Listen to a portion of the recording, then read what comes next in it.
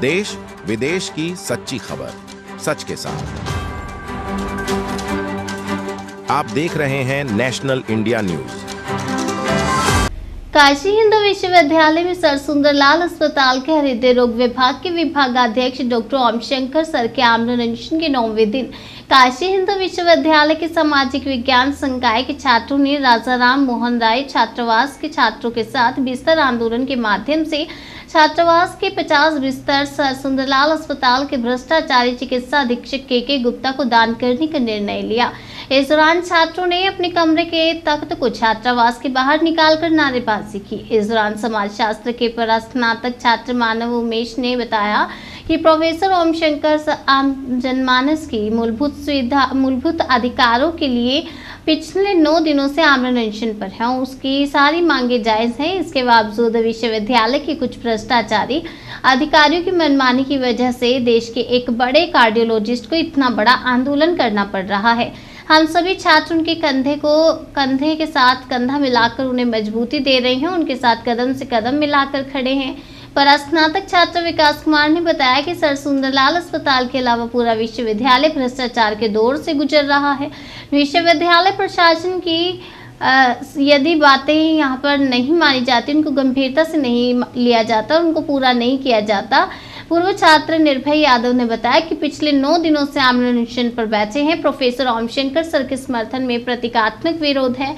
Sir Sundarlal अस्पताल का चिकित्सा अधीक्षक पूर्व में भी कई भ्रष्टाचारों में संलिप्त रहा। विश्वविद्यालय को चाहिए कि भ्रष्टाचारी चिकित्सा अधीक्षक डॉक्टर के के गुप्ता को तत्काल प्रभाव से सस्पेंड कर उनके खिलाफ एक उच्च स्तरीय जाँच कमेटी का गठन कर सच को सामने लाए।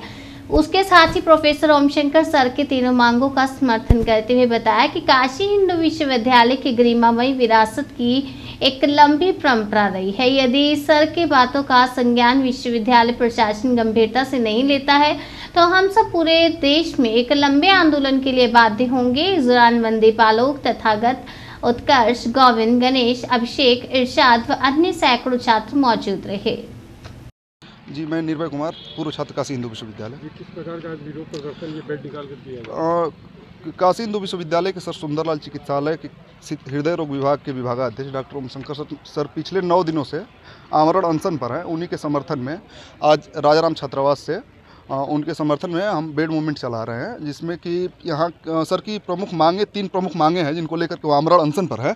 जो पहला यह है कि कार्डियोलॉजी विभाग के लिए न्यू बिल्डिंग की जब से स्थापना हुई सन 2020 से तो सैंतालीस बेड जो अलाट हैं उनमें यहाँ के भ्रष्टाचारी चिकित्सा अधीक्षक द्वारा मनमानी तरीके से ताला लगाया गया। और पिछले आ, मार्च महीने में भी सर ने कुलपति को लेटर लिखा था और अपने धरना प्रदर्शन के माध्यम से आगाह किया था कि अगर ये सैंतालीस बेड को नहीं खोला गया तो मैं एक बड़े धरने के लिए बाध्य होऊँगा और वही वो पिछले नौ दिनों से धरना कर रहे हैं तो उसके समर्थन में यहाँ के छात्र छात्र आज अपना अपने छात्रावास से 50 बिस्तर चिकित्सा अधीक्षक को दान कर रहे हैं कि आप छात्रावास से इनके बिस्तर ले जाइए, ये ज़मीन पर सो लेंगे। लेकिन जो मरीजों की मूलभूत सुविधाएँ हैं, उनसे उनको वंचित ना रखा जाए। सर की दूसरी मांग है कि जो भारत के संविधान के तहत शिक्षा और स्वास्थ्य का जो मौलिक अधिकार है वो पूर्णतः लागू हो। और तीसरी मांग ये है कि जो विश्वविद्यालय में पेड़ पौधों को मनमानी तरीके से काटा जा रहा है तो वो बंद किया जाए। तो इसी के समर्थन में आज राजाराम छात्रावास के छात्रों ने अपने छात्रावास से यहाँ के भ्रष्टाचारी चिकित्सा अधीक्षक को 50 बेड दान करने का निर्णय लिया है। अभी तो इन्होंने बोला था कि जो परसों लोग मीटिंग हुई थी वाइस चांसलर की डायरेक्टर की एम की, कि हम लोग बेड खोल रहे हैं। देखिए, ये कोई पहली मीटिंग नहीं है। इसके पूर्व में भी कई इस तरीके की मीटिंग हो चुकी है, लेकिन ये विश्वविद्यालय का मनमाना जो है, वो अपने चरम सीमा पर है, और यहाँ के चिकित्सा अधीक्षक और यहाँ के वाइस चांसलर बड़े पैमाने पर इन चीज़ों को लेकर के मतलब गहरी नींद में सोए हुए हैं।